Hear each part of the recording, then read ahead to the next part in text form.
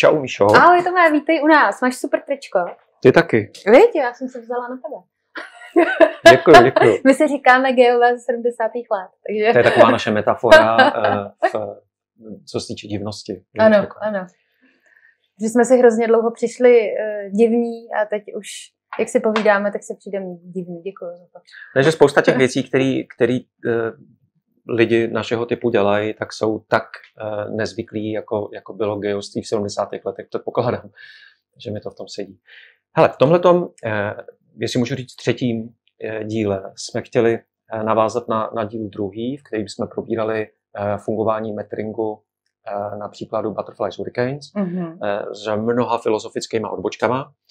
Tak je to prostě uh, hurikán. Asi, asi, asi je důležitý. Uvidíme, jak nám eh, teďka v tom třetím bychom chtěli být konkrétnější. Já jsem nabídl, že bych uh, zkusil povyprávět, uh, jak praktikujeme matering uh, v PeopleComu. Pak bychom se společně mohli pobavit o, o tom, jak to děláme ve slušné firmě a pak případně ještě příklad základky, kam chodí mý děti, kde, mm-hmm. kde vlastně se materingu taky věnují dlouhodobě. Mm-hmm. Uh, tak zkusím ten people.com. Povídej, prosím, prosím tě, mi skákej do řeči. Já jsem na to hrozně aby, aby to nebyl nějaký jako, jakoby nesourodej uh, monolog, postarej se, aby mi bylo rozumět možná. Jo. Protože já jsem se tady udělal nějakou myšlenkovou mapu, budu se na ní dívat a, a zkusím to říct podle toho. Mm-hmm. Fakticky people.com je SRO, uh, má dva zaměstnance a, a, a řadu mhm. spolupracovníků na, na projekty, to znamená Eh, překladatele, korektory, editory, eh, distribuci. Prostě je nás, řekněme, 10 až 15, mm-hmm. ale zaměstnanci jsou tam dva. Eh, roční obrat zhruba 2 miliony korun. Mám pocit, že loňský covidový rok byl rekordní. Čísla ještě nemám, ale možná to budou 3 miliony korun. Mm-hmm. Takže zhruba tato velikost. Tak. Považuji, pokud se bavíme o tomhle světě, kde, kde jde o propojování lidí kolem smyslu a hodnot, tak, tak za důležitý začátek otázku proč. Eh, to znamená People.com, eh, my budeme teďka 10 let výročí za 14 dní mm. vyčištění, vyčištění podivína, což byla naše první mm. kniha. Mm. Eh, k tomu jsme se odhodlali eh, právě na základě snahy zodpovědět si otázku, proč vlastně, proč jsme se pustili do knih. Eh, bylo to období, kdy já jsem se podivoval nad tím, proč tolik lidí nesnáší svou práci, proč 9 z 10 lidí hákuje místo toho, aby něco tvořili. Mm-hmm. A protože jsem eh, knihomol, vlastně od malička ležím v knihách, eh, věřím stále ještě v roce 2021 a věřil jsem tomu před deseti lety, věřím tomu dodnes, že knihy stále ještě můžou startovat revoluce, měnit paradigmata, měnit svět. Eh, takže eh, mě napadlo, eh, protože v zahraničí se o tomhle tématu diskutuje samozřejmě mnohem víc, než mm-hmm. se diskutovalo u nás a diskutuje. Věděl jsem o určitých knihách, které mám pocit, že otevřou obzory, tak jsme si řekli, hele, pojďme to zkusit, mhm. pojďme zkusit přeložit a vydat. Konkrétně v našem případě to byly tři knihy Podivín, příběh vlastně velký průmyslový firmy, tři a půl tisíce zaměstnanců eh, z, z brazilského São Paula, který vlastně nemají šéfy, který si sami rozhodují o tom, co, kdy, kde, jak, s kým, za kolik budou dělat. Eh, příběh eh, firmy Zapos, která staví vlastně na na štěstí, říkají, že prostě mm. jako pojďme to, tu práci dělat tak, aby nás fakt bavila, mm. aby bavila ty, ty lidi, kteří od nás kupují ty naše věci a ty peníze pak jako přijdou, mm. štěstí doručeno a příběh, eh, kniha příběhů několika firm eh, s názvem Svoboda v práci. Mm. Takže s tímhle tím my jsme vlastně začali a dneska eh, já mám pocit, že máme 18, 20 vlastně jako titulů. Eh, víme, že vždycky budeme, nebo pokud se něco nezmění. Eh, malinký nakladatelství eh, chceme stále vlastně jako by stavět na tom silným proč, nebo mm. pro nás silným mm. proč. To znamená eh, na snaze přispět k nějaký změně tady. A ona mhm. se trošku proměnila. My jsme začínali se snahou změnit to, jak se u nás pracuje a podniká. Dneska jsme se posunuli Učili jsme si aristotelovský eh, koncept dobrýho života a snažíme se přispět k tomu, aby víc lidí mohlo žít eh, dobrý život. A, a mám pocit, že, že, že se maličko jako posouváme k tomu patagonskému uh, we're in business to save the planet. Mm-hmm. Jakože mm-hmm. je potřeba, mm-hmm. dochází nám, mm-hmm. uh, že ty změny, které se musí odehrát, hlavní změny musí být systémové. Takže uh, se snažíme vydávat a distribuovat knihy, které nějak přispívají, uh, otvírají oči, řekněme, uh, co se týče toho, co, co opravdu se děje a co je potřeba změnit.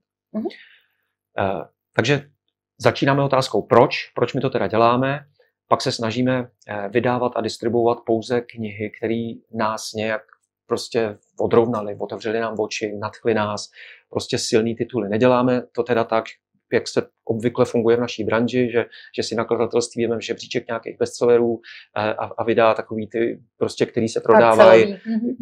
vlastně nemají prakticky žádný vztah k tomu, o čem ty knihy jsou a prostě se to prodává tak, aby to v tabulkách prostě eh, generoval ty správné čísla. Mm-hmm. Takže my prostě Eh, saháme často po knihách, eh, u kterých vlastně vůbec nevíš, jestli se budou prodávat. Že? Summerhill, to je eh, příběh první demokratické školy na světě, kniha z 60. let, která vlastně nás, nás udivilo, že ten příběh vlastně ještě nikdo v češtině jako nezačal vyprávět. Takže jsme vydali knížku z 60. let.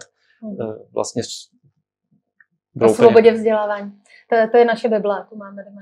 No a vlastně jako nevíš, že jo? Ale, ale prostě věříš, nemůžeš si pomoct a Eh, Gábor Maté, to bylo to samé, že jo, taky prostě některé knihy už, už mají pár let za sebou a, a vlastně ty cítí, že je musíš vydat. Prostě, že... A mě by hrozně zajímalo, jak tobě ty knihy chodí. Uh, jak pár, pár knih mi přines Ježíšek, že, jo, že, že, že prostě, no teď ta, ta budoucnost je lokální, to byl typický Ježíšek, uh, firma, zodpovědná firma byl Ježíšek. Mm-hmm. Eh, budoucnost organizací eh, a domácnost bez odpadu, to jsou zase třeba typické fanouškovské knihy, mm. kde za tebou začnou chodit lidi a přijde jich třeba víc s jednou mm. knihou a řekne, to je tak silný, to prostě musíte vydat. Až si to teda jako přečteš mm. a teď mhm. zjistíš, že to je mhm. opravdu síla a, a, a jdeš do toho. Takže tak jako různě, ale, ale řekl bych, že většina, většinu ti jako někdo nějak, jak se se v tom minulém díle bavili o těch synchronicitách, tak mm-hmm. najednou ti jako ta knížka přistane na stole, ty si ji přečteš, řekneš si, ježíš, aha, tak to, ono to není v češtině, no tak jako musíš. Jo? Mm-hmm. To znamená, není tam žádný systematický vyhledávání? To nemáme, jako ne, ne, vůbec, vůbec ne. To, to je taky zajímavé. A, a to mluvím o překladové literatuře. A pak je hromada, eh, jako řekl bych, hromada eh, autorů tady našich, eh, pro mě typicky sláma v botách. To, mm-hmm. to je prostě člověk, kterýho jsem objevil na jedné konferenci, kde jsme spolu uh, vlastně nějak jako se setkali a teď, teď já vlastně ji poslouchám a, a, a zjišťuju, že prostě vypráví naprosto fascinující příběh, kdy z malého města odešla do Prahy budovat kariéru a vydělávat prachy a, a najednou se v ní něco zlomilo, jak si o tom mluvila v minulém díle ty a, a vrátila se na, do toho svého rodného města a teď tam vlastně si začala budovat svoji smečku, zakládat rodinu, e, úplně nový domov, hospodařit, své pomoc, sousedi, mhm. komunita a, a, a prostě ty chceš jí pomoct ten příběh vyprávět, protože je mhm. strašně mhm. důležitý v této době. Takže, takže i tak, jako těch cest je hodně. Každopádně jsou to teda ty jako knihy, kde, kde vlastně je to vnitřní puzení, že, že, že vlastně jako ten příběh chceš dostat mm-hmm. mezi lidi a tak nějak jako doufáš intuitivně, a to nevím, jak moc vyplývá z mý podstaty, mm. já mhm. moc nejsem číselný člověk mm. a nějak taky, jak jsi mluvila minule o těch pocitech, tak jako cítím, že, že prostě to jako nějak půjde. Občas se škaredeně, škaredeně trefím eh, a občas jsem překvapený, jak, jak prostě skvěle se ta kniha prodává já nevím, teď uh, nový vydání Respektovat respektován je prostě naprostý bestseller a vlastně žasnu, jak, mm-hmm. jak, jak, ta kniha se šíří úplně jako fanouškovsky. Mm-hmm. Na druhou stranu zodpovědná firma, už jsem zmiňoval, to byla kniha, kde, kde já jsem prostě cítil, že to tady prostě potřebujeme. Mm-hmm. Udělal jsem stojky tenkrát, abych, abych té knize pomohl se dostat mm-hmm. k lidem. Mm-hmm. Obeslal jsem třeba, nikdy jsem tohle nedělal vlastně a od té doby jsem udělal jsem to jednou u této knihy. Mm. Obeslal jsem, já nevím, 20, 25 eh, vlivných lidí tady v Čechách, mm. eh, poslal mm. jsem jim tu knihu a poprosil jsem je o, o, o názor. A, a stejně to nepomohlo. Ta, mm. ta kniha je prostě ležák, protože předběhla dobu. Takže tak občas, ona, ona k ní ta společnost doběhne. No, možná, ale občas to prostě nevíde, ale mm. celkově to jako, jakoby finančně mi na ty složenky nějak prostě dovedeme vydělat, mm. i když, když se podíváš do našeho skladu, tak jsou tam knihy, které prostě nějak jsme to jako netrefili úplně. No. Ať už to byl výběr toho titulu, nebo, nebo to, jak prostě příběh té knihy vypráví. Takže to Mety si teď motáš, jestli můžu uh, okolo toho vlastně jak prodáváte. To je taky, to je vlastně strašně důležité, mm-hmm. jako, že neděláte žádný, uh, mluvíme-li o meteringu, že neděláte žádný jako strategie, jako ty jsi říkal, že, že opravdu jednou se obeslal nějaký jako lidi s tím, že si chtěl tu knihu rozšířit. Jak, jak ji teda šíříš? Jak je šíříš? To je možná správný slovo, který, který možná taky jako používáme. Teď přemýšlím, jak to říkám, protože my fakticky prodáváme knihy, my prodáváme, my knihy vydáváme a ty si do velké míry prodáváme sami a pak se, pomá, pak, pak se snažíme taky šířit další mm-hmm. knihy z jiných nakladatelství, mm-hmm. který eh, věří, podle ne? našeho si šíření mm-hmm. zaslouží, že, že mhm. třeba se o nich za stolik neví. Takže máme e-shop a, a tam jsou jak naše knihy, tak tyhle, ty, které se snažíme šířit. Mm-hmm. A já možná se k tomu dostanu. Počkej, podívám se do svých poznámek. Uh, co mi přijde teda podstatní? Otázka, proč silný tituly a pak si dáváme velmi, velmi záležet na každý té knize. To znamená eh, obálka. Eh, tam se potkáváme s váma, že, že věříme, že že ta kniha by měla být krásná, že by se nám mhm. prostě, mhm. ne vždycky se nám to povede samozřejmě, ale dáváme si záležet na obálce. Eh, ke prakticky každý, eh, snažím se k každý knize napsat úvod, kde se mm. snažím vysvětlit, proč mi ta kniha přijde, vlastně si to beru hodně osobně, jo, že mhm, snažím se vysvětlit, proč mi ta kniha přijde důležitá, proč češtině, proč v téhle době. A to proč se snažíme vysvětlovat i, i na webu a v jakýkoliv další komunikaci. A plus tu knihu se snažíme využívat vlastně i jako, jak to říct, abych to neřekl marketingově, jako komunikační nosič, jo? Že, mm-hmm. že, že jak vepředu, tak vzadu eh, píšeme určitý věci, například to, že, že nejsme ve většinové distribuci, že pokud se vám ta kniha bude líbit, prosím vás, pomožte nám ji šířit. Vzadu je vždycky seznam všech našich knih a tak nějak, aby jsme nemuseli tisknout nějaký letáčky a všechny ty, ty blbosti, tak prostě ta kniha eh, vlastně prodají se jich tisíce, tak prostě pak nám pomáhá ty věci komunikovat. Ty vlastně s těma knihama hledáš i jako nejekologičtější způsob, že? Knihy... Což je jeden z důležitých eh, principů, na kterým stavíme. To mám tady bod, který jsem si nazval, že se snažíme fungovat v souladu s hodnotama. Mm-hmm. Jak si v minulým dílu mluvila u vás ve vašem případě o autenticitě, tak, tak možná ono. Za prvý eh, snažíme se fungovat vlastní cestou, to znamená, ty knihy nemáme v distribuci, protože nesouhlasíme s rozdělením příjmů, mm-hmm.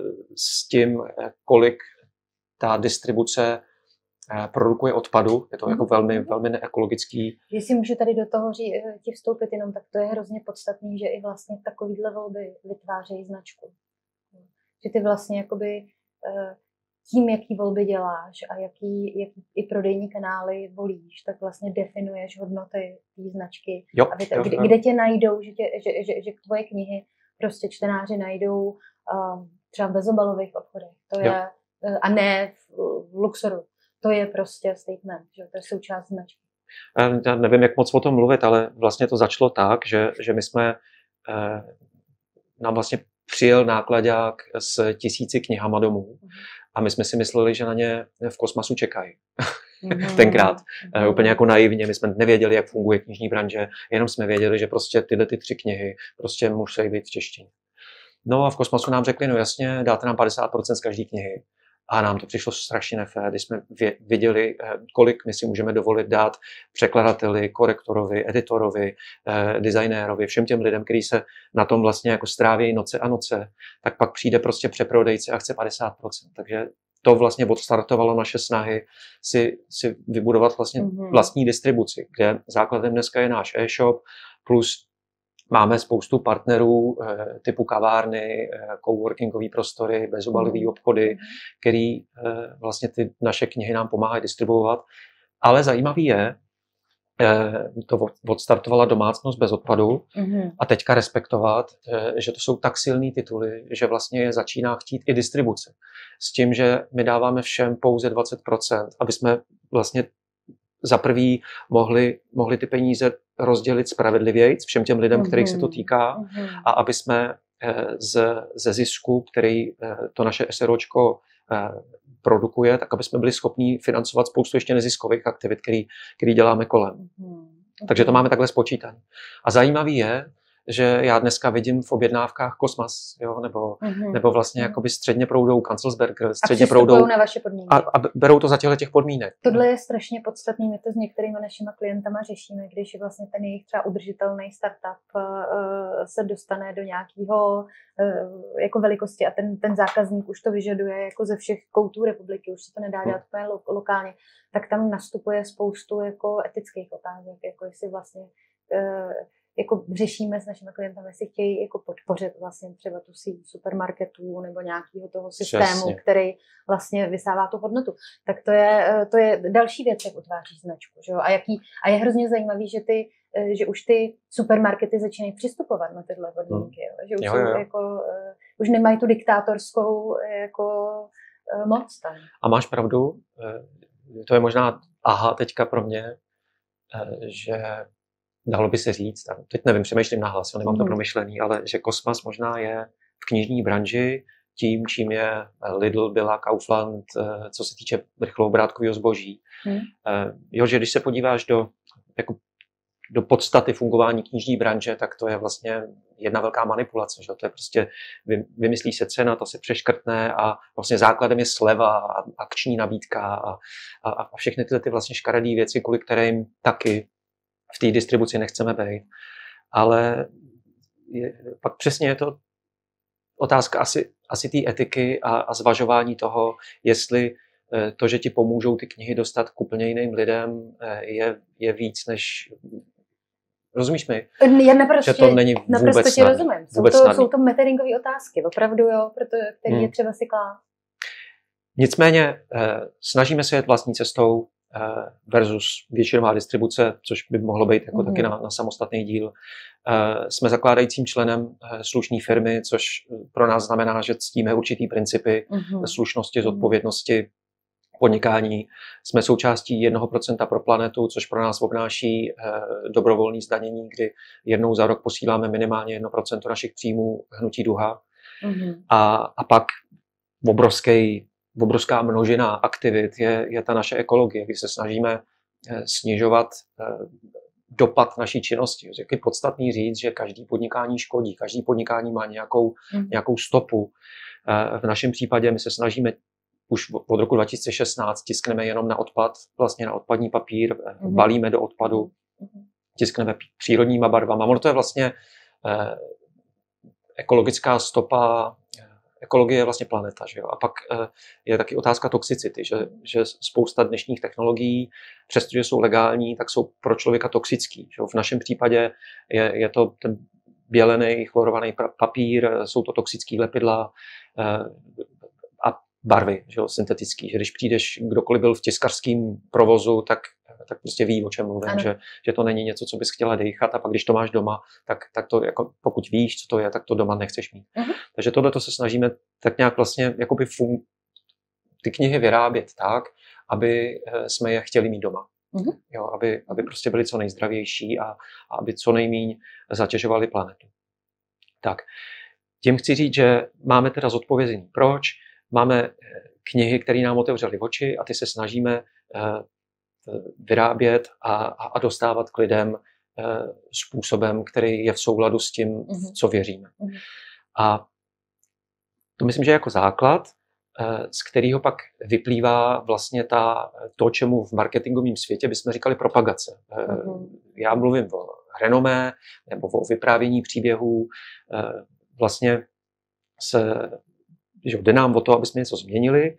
Knihy jsou způsobem k tomu, jak to změnit a a pak je z toho našeho života mraky příběhů a subpříběhů, kterými vlastně eh, přes určitý kanály, mm-hmm. což je v našem případě blog, eh, YouTubeový kanál, eh, další sociální sítě a newsletter, mm-hmm. tak který vlastně vyprávíme.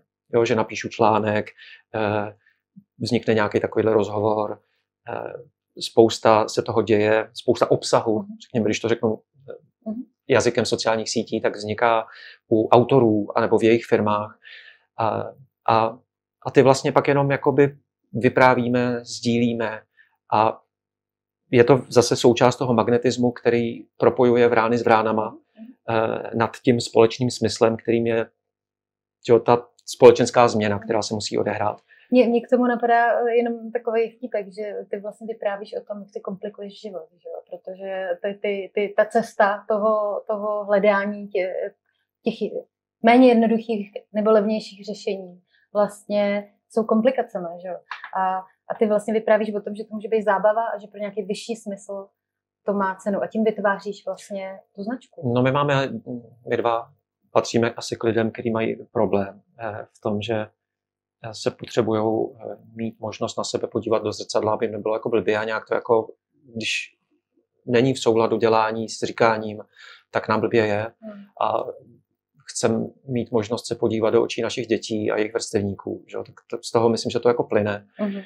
Ale když bych zase zkusil vzít marketingový a materingový svět, černo-bílej, bílej, tak my vlastně bychom si v marketingovém světě mohli zaplatit nějakou reklamu, vymyslet si takovou tu cenu, tu přeškrtnout. Myslím, že základní technika v naší branži je, že si vymyslíš cenu, tu přeškrtneš a napíšeš tam sleva, teď to tam nějak jako problikává. A to nemáte na e-shopu, že poslední tři kusy? Jako, ne? Nic takového nepoužíváme. Použí... Hele, když, když jsem vlastně si kreslil tu mapu, tak mm-hmm. máme dvě věci, které by když bychom vlastně chtěli být jako poctiví eh, a hledali vlastně jako závady na tom, co děláme, mm. tak si myslím, že eh, manipulativní by mohly být ceny, které končí na devítky. Eh, na devítku, mm. to máme, to mm. používáme, mm. 389.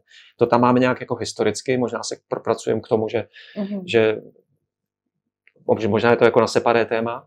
A pak děláme tematické balíčky, což je taky řízený snahou možná jako některé knihy propašovat. Lidem, prostě. Možná některé knihy propašovat, hmm. možná líp lidem vysvětlit, o co jde, protože knihy se různě jmenují a, a vlastně je to od téma, sjednocující téma je třeba soběstačnost hmm. nebo alternativní ekonomika. Jo, že eh, já nevím, typickým příkladem jsou knihy Naději Johannisový, hmm. naprosto jako hmm. must read, klenot, hmm. ale nějak se prostě jako neprodávají. No, nebo knihy vlastně dneska máme jednu, ale Katka Varhaník Vildová taky prostě nádherně píše a, Má velmi zajímavé myšlenky. No, no a, a tak prostě jsme udělali balíček Alternativní ekonomika, a, a kde jsme spojili knihy Nadě Johannisový a Katky Varhaník Vildový mm. a, a, a přijde mi, že to prostě zadek na hrnet, že tím pojmenováním to, to jako, jako líp vysvětlíš. Ale myslím si, že, že když bychom na tom chtěli hledat chyby, tak by to mohlo být jako, že to není úplně, jako že se ještě dá jít dál, myslím od mm. marketingu k tomu, mm. k tomu mm. materingu. Ale zase žijeme v nějakém tady jako tom makroprostředí a, a dokonalost je doménou bohů a Hollywoodu. Že? Takže a, a tam já to... to ale vnímám jako naopak pomoc rozšířit tomu, za, jako já znám, já mám spoustu kamarádů, kteří na soušlech se ptají, ale co mám číst, co mám číst za knihu. Mm. A já to vítám, že tam, jako, pokud mě zajímá nějaký okruh, je tam doporučení další dvě knihy, které to, mm. to, to, to, je ještě caj. Rozumím. No, ještě, když bych to měl teda dokončit, tak eh, snažíme se kromě toho, že mazlíme každou tu knihu a pak se snažíme vlastně každý té knize věnovat, což je taky důvod, proč uh-huh. jsme mhm. tak malí a proč uh-huh. vždycky budeme tak malí. Uh-huh. uh-huh. myslím, že v tom prvním díle jsme říkali, že eh, pokud chceš stavět na materingu, tak nikdy nebudeš nadnárodní korporace, ano. že to je, že, že tam vyrosteš prostě do své přirozené velikosti uh-huh. a naše přirozená velikost je, je tato že nechceme prostě jako budovat velký nakladatelství. My jsme jako materingová firma vlastně zjistili, že určitá velikost už nám nesedí. Nás bylo hmm. skoro 18 jeden čas hmm. jako, a, a to už nebylo možné. Ten matering vlastně je tak, i jakoby ta, ty závazky vlastně tě tak jako zatížej, že, že, že pak, eh, jak si minule mluvila o tom, že snem je dělat jenom ve smyslu, Mhm. tak to jsou už ty momenty, čím větší jsou závazky, tak tím víc uh, ty musíš dělat kompromisy a, a jdeš prostě po penězích, aby si poplatila ty složenky a, a mzdy a tak dále. Takže pro, proto myslím, že i jako menší velikost místní fungování je v tomhle smyslu jako rozumnější a správnější. Tak on jedna z vašich knih, kterou já naprosto zbožňuji, budoucnost organizací, jako tam to Frederik Lalou na to nějaký návod dává, že já si myslím, že tam ta cesta je, nám se to zatím ještě nepovedlo, a e, já jsem zjistila, že mě je líp, když jsem obklopená lidma, se kterými můžu mít blízký vztah. Nad, určitou, nad určitý počet už pak to nejde. Myslím, že by se dalo zobecnit biologicky, že, no, že prostě potřebujeme svoji smečku, aby jsme se cítili dobře. Pokud ji nemáme, tak se dobře necítíme a někde to musíme nahánit. Kromě toho, že se snažíme mazlit ty knížky, tak se snažíme mazlit ke každý knížce i web, kde zase se snažíme popisovat pětkrát, proč tuhle tu knížku zvolit, mm-hmm. pětkrát, co se tam dozvíte, snažíme se tam dávat fotky, videa, Eh, různý odkazy, tak aby si člověk mohl udělat maximální mm-hmm. prostě možný mm-hmm. přehled mm-hmm. o tom, co ta kniha je a proklikat se vlastně do světa eh, té knihy. Že? Pokud je to kniha o semku, tak prostě existuje mm-hmm. strašně moc dalších internetových zdrojů, jak se prostě o té firmě, plus ještě, jak jsem říkal, že kniha Summerhill ze 60. let, tak podivín je podle mě z 80. tak mm-hmm. jako stará kniha vlastně. Mm-hmm. A od té doby se toho stalo strašně moc, takže ty jdeš na web a tam se proklikáš jako na aktuální situaci. Takže s tím se taky jako hodně mazlíme. A, a to je možná pro mě nevýhoda mm-hmm. tohoto toho přístupu. Mm-hmm. Na sobě vidím, že já vlastně jako 10 eh, let, co se tomuhle tomu, možná i víc, už 15, tak já si jako hodně času odsedím někde u nějakého psaní, u nějakého takového jako videování. Mm-hmm. Musím chodit na přednášky, besedy, že tam je jako hromada práce který vlastně se dají zjednodušit tím, eh, že si to koupím. Já si můžu koupit reklamu, můžu přeškrtnout tu cenu a jet na slevy. Uh-huh. Podobně jako v zemědělství, uh-huh. já můžu fungovat eko, ekologicky nebo, nebo regenerativně v souladu s přírodou, no a nebo si koupím pesticidy a umělý hnojiva a nasypu to tam. Tak to je vlastně podle mě uh-huh. příměr, kde možná je taky vidět rozdíl mezi tím marketingovým a marketingovým světem, že, že ten je takový, jako, řekl bych, pracnější, ale čím víc to vychází z tvýho proč, je to v souladu s tvýma hodnotama, tím víc tě vlastně ta práce regeneruje, mhm. spíš než že by tě vysávala. Takže, takže je, to, je to vlastně takový jako perpetuum mobile, že tě to jako těší. No, protože ty většinou, pak, když tohle děláš, tak potkáváš lidi, který... Plus tě jako to propojuje. Se, který, se kterýma máš no. vlastně uh, souznění. A to souznění je něco, co uh, z marketingu nehodí, že jo? Takový to, jako že si že vlastně najednou zjistíte, že nepotřebujete nic víc, než si jenom popovídat a, a mít z toho dobrý pocit. Souhlas, souhlas. Já když si vlastně jako přemýšlím, tak za těch deset let, co já jsem jenom potkal lidí, přes vás jsem taky potkal vlastně přes, mm-hmm. přes tyhle ty jako, jako snahy. Nedozvěděli bychom se pravděpodobně o sobě, mm-hmm. nebo že my jsme tak nějak ve svých předchozích kariérách se míjeli, ale, ale proč bychom se vlastně jako potkávali, když mm-hmm. že jo, ty děláš nějaký design a, a já tady dělám nějaké knížky. Takže ono tě to jako propojuje, mm-hmm. propojuje s lidma a vlastně tě to jako, jako by pomáhá dostávat do toho důlku, takže tě to jako uzdravuje, naplňuje tě to, protože děláš užitečnou práci, kterou považuješ za smysluplnou. A je to, je to vlastně jako, tak nějak cítíš, že to správně. A to mě, co, co ty zmiňuješ často a co mě naprosto dostává v této cestě, byť je to ta cesta těch složitějších, jako není to ta zkratka, tak jsou ty aha momenty. Aha hmm. momenty to je prostě takový, je, to jsou tak nádherný momenty, jo.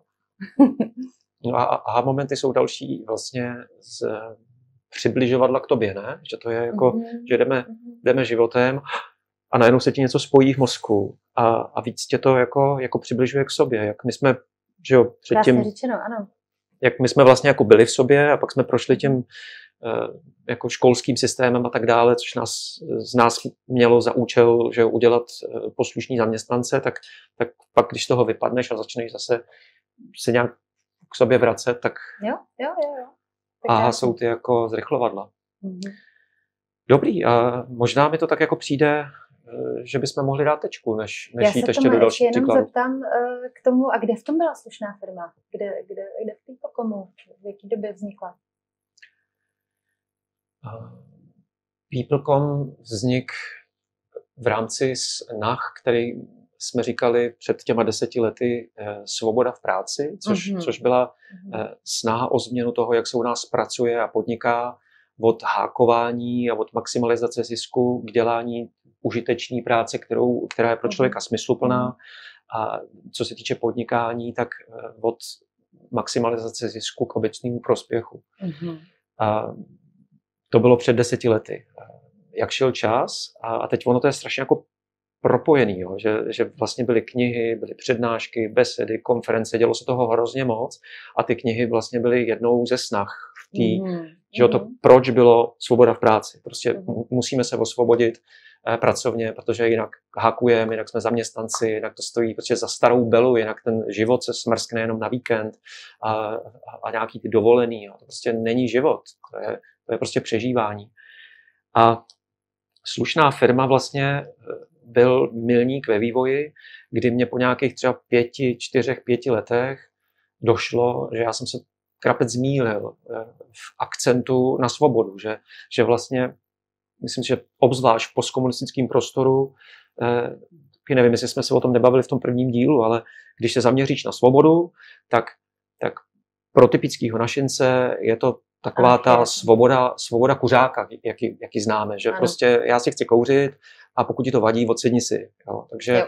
Eh, já jsem akcentoval svobodu v práci a spousta podnikatelů eh, si to vyložila tak, že prostě si to udělají hezky ve firmě, ale vlastně prakticky nikdo neřešil, eh, jestli, práce. No, pro koho dělá, jestli, jestli, jestli vlastně to těží hodnotu, anebo tu hodnotu vytváří. A, a jestli ten, to podnikání vlastně jako za sebou zanechává spoušť, anebo hmm. jestli to podnikání regeneruje. Hmm. Tak to mě otevřelo oči, to byl jeden jako z takových, jako, že roli tam se hrála eh, kniha Zodpovědná firma právě a, a setkání s Patagonií a eh, děti moje, podobně jako u tebe, dost podobný. A došlo mi, že, jak říká Viktor Frankl, eh, že svoboda je vlastně vedlejším produktem zodpovědnosti, že, mm-hmm. že já jsem mhm. vlastně měl akcentovat zodpovědnost, ano. že to je to, že, že jo, svoboda je put, s kterým se rodíme. Eh, vidíš děti, že jo? Děti jsou tím jako vlastně metaforou svobody. Ale v té dospělé společnosti, v lidský, eh, pokud se nenaučíme respektovat svobody druhých, tak nikdy svobodná nemůžeš být. Že jo? A ten respekt vůči svobodám druhých eh, my nazýváme zodpovědností, uh-huh. ohleduplností. Zodpovědnost je nádherný slovo, protože v kořenu je slovo odpověď. Uh-huh. Takže my musíme vnímat uh, ty otázky druhých, musíme uh, být ohleduplní. To znamená, uh-huh. taky dneska jsem jel za váma tramvají a na té cyklostezce bylo buďte ohleduplní. A já si pak vždycky vybavím tu realitu té cyklostezky, jak tam ty testosteronový jako jedou no, a, a jsou naštvaný na ty pomalejší s těma kočárkama, jak tam brzdějí. tak tam vlastně taky vidím ten obraz našeho vnímání svobody ještě v roce 2021. A to prostě byla ta chyba. No my se to a... teď učíme, já mám pocit, že, že jako ta, ta, ta sametová revoluce se nám tak jako stala a my se to pořád učíme. Já to zase často mluvím o svém muži, že jo, který pochází teda, já jsem k Americe hodně kritická, on je typický kapit, uh, imigrant před kapitalismem, ale prostě k té svobodě, vlastně i v té transformaci ve firmě mi strašně pomohl právě on, protože on, hmm. on říká, my to tady ještě fakt neumíme. Jo? Prostě učíme se Ani to. náhodou. Učíme se to k tomu, jak se chováme k dětem, jeden k druhému. Prostě je tady strašně práce ještě. No. Ale jestli se to někde děje, tak se to děje právě v rodinách a v těch eh, ve školském alternativním systému, že těch alternativních školek, škol vzniká prostě to, že ano. tvoje děti chodí do podobné školy jako naše, takže tam to jako vidíš. Nicméně eh, u mě došlo k nějakému tomu tomu prozření, mm-hmm.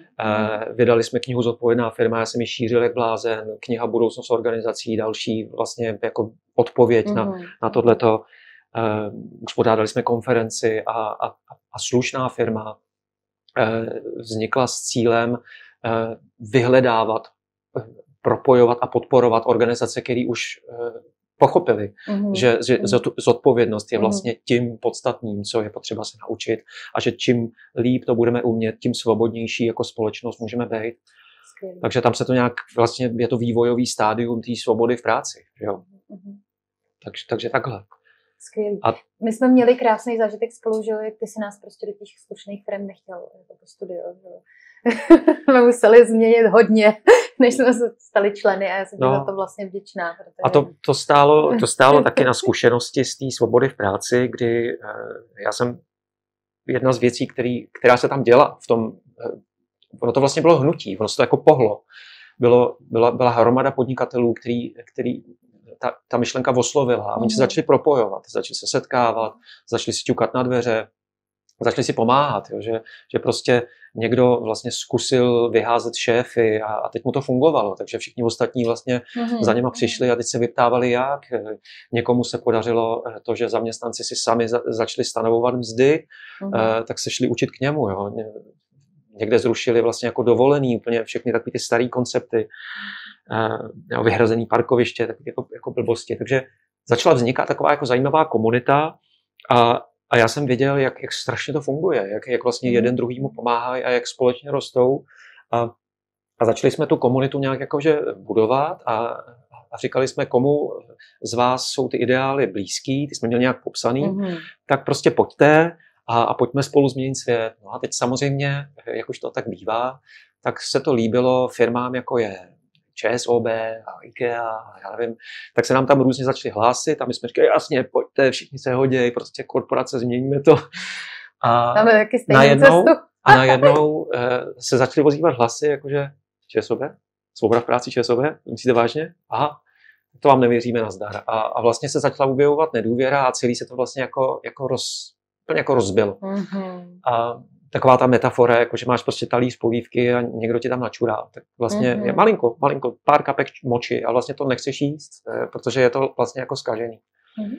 A mě to bylo jako velký poučení pro slušnou firmu, mm-hmm. že my jsme věděli, že jestli si na něco musíme dát bacha, tak je to dobře definovat ty vstupní kritéria a dobře vlastně jakoby dát tam nějaký gatekeepera, někoho, kdo, kdo hlídá to, koho, koho dovnitř pustíme a ne. A to víš, že, že my jsme vlastně společně v takzvané poradní skupině, eh, základem je index, eh, nějaký, který každá ta firma musí vyplnit. My si pak o, o každý tý říkám firmě, ale jsou tam organizace, mm. tak si prostě zjišťujeme spoustu eh, informací a pak se společně bavíme o tom, jestli, jestli teda si můžeme dovolit tu či onu eh, organizaci přijmout nebo ne, protože víme, že s každou tou organizací vlastně my jdeme do rizika, že když mm. oni budou někde prasit, tak vlastně prasíme všichni.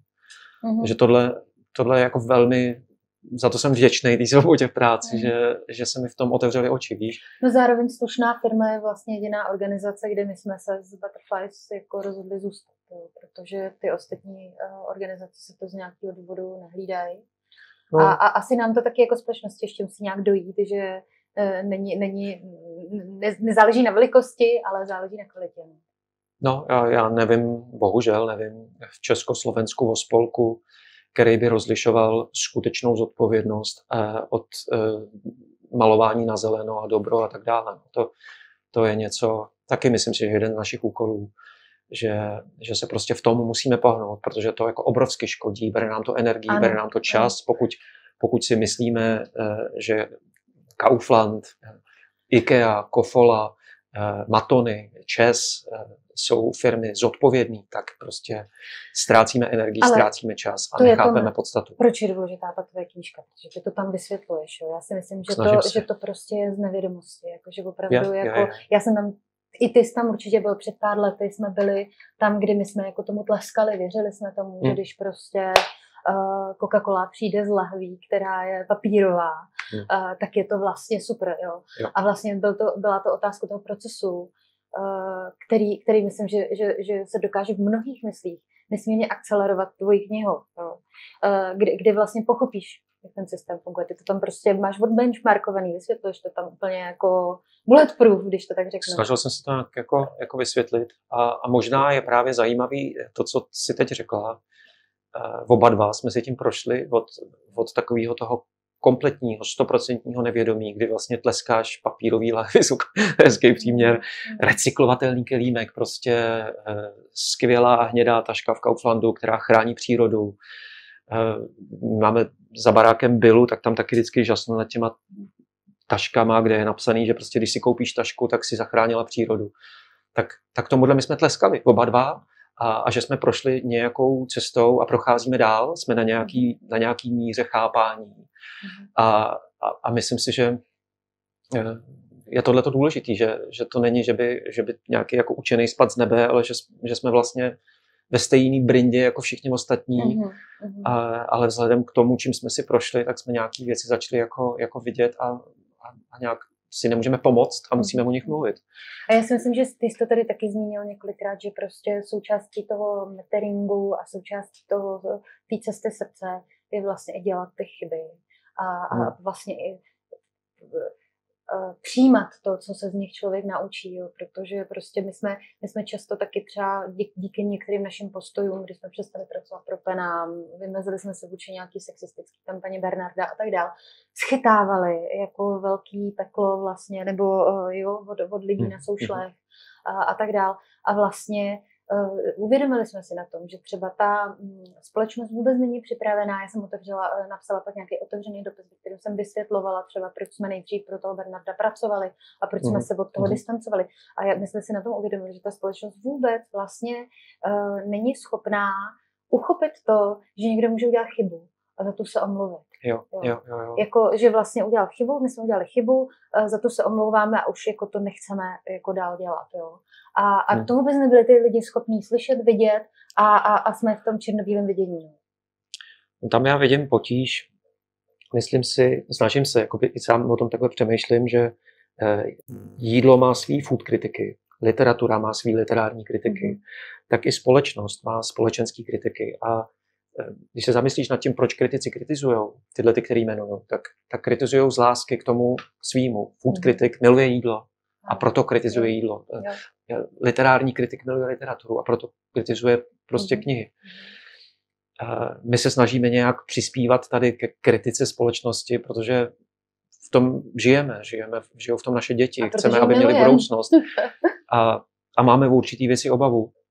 A to si myslím, že je potřeba non-stop zdůrazňovat, že když eh, kritizujeme, tak to není proto, že bychom chtěli ubližovat a, a já nevím co všechno, ale věřím, že je potřeba nasvěcovat. Eh, ten, jak se říká, stín, že, že, že, že my známe personu vlastně společnosti, mm-hmm. personu korporací, personu státu, ale ve stínu je takových schovaných věcí, které mají být běžnému člověku ukryty, mm-hmm. ale který, když neuvidíme, tak nebudeme chápat ten komplexní obrázek a nebudeme schopni nikdy vlastně najít správný řešení, když a nechápeme příčiny. se opravdu svobodně se rozhodovat. Že?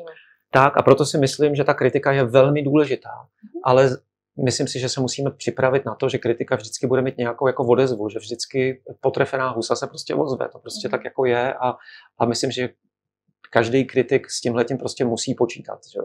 Používá se slovo hejtři že? na sociálních mm. sítích. A, tak to je podstatný. Zároveň, myslím, kromě nasvěcování stínu, my musíme ukazovat eh, příklady eh, toho, toho nového mm-hmm. příběhu, nebo příklady toho, jak bychom si představovali teda teda tu společnost uspořádat. A to je jako, o to se tady tak nějak jako snažíme. No. Uh, ještě mě napadla možná poslední věc k tomu materingu na základě toho, co jsem slyšel od tebe. A pokud už možná pojďme k tečce a, a nechoďme už za těch dalších příkladů, přijde mi, že je to dlouhý. Uh, v tom materingovém světě, a zase to není černobílý, tak je to, pokud bychom mluvili o podnikání, mm-hmm. tak je to daleko osobnější mm-hmm. než eh, v tom marketingovém. Marketingovým dost mhm. často eh, přijdeš k nějaký firmě a teď pokud je tam o nás, mm. tak je to nějaký bla, bla, bla, jsme velká firma největší a, a druhý a třetí jedničky a vlastně vůbec nevíš, kdo je zatím. Jo, dost často to může být firma jednoho člověka, ale je to my a, a snaží se vytvářet ano. tam jako auru takový tý jako velikosti a úspěšnosti. V tom ličtějším světě Eh, dost často u těchto těch firm najdeš nějaký příběh nějakého zakladatele eh, nebo té smečky. Eh, je tam vlastně, co se tomu člověku stalo. My jsme se tady bavili o hmm. těch našich milnících. Eh, že v mém případě to, že mě vychovali babičky k nevyhazování a teď já prostě nemůžu vystát to, to nebetyčný plítvání lidským potenciálem, kdy 9 z 10 lidí hápuje a já, mm. já prostě říkám pro boha, proč se tomu nikdo nediví. Mm. Tak, eh, tak tohle mi přijde ještě jako důležitý aspekt eh, toho, řekněme, nového podniku, kdy, kdy prostě za každým, ty víš, že za každým podnikem je nějaký člověk nebo, nebo spíš nějaký lidi. A není to nějaká prostě prázdná slupka, která Eh, jejíž cílem je maximalizovat zisk eh, tím, že prostě používá prostě různý manipulativní techniky, které mě přimějí k tomu, že mhm. já si vlastně koupím něco, co vůbec vlastně ani nevím, proč jsem si koupil. Ano, ano. Tak tohle by byla za mě jako možná tečka. A pokud i za tebe, tak se Určitě. pojďme rozloučit a... To byla hezká tečka. A pojďme příště zase pokročit dalšími, dalšíma příkladem. Super, a příště se vrhneme na ženy. Příště dáme ženy. Souhlas. tak jo, děkuji taky. Děkuji. Ahoj.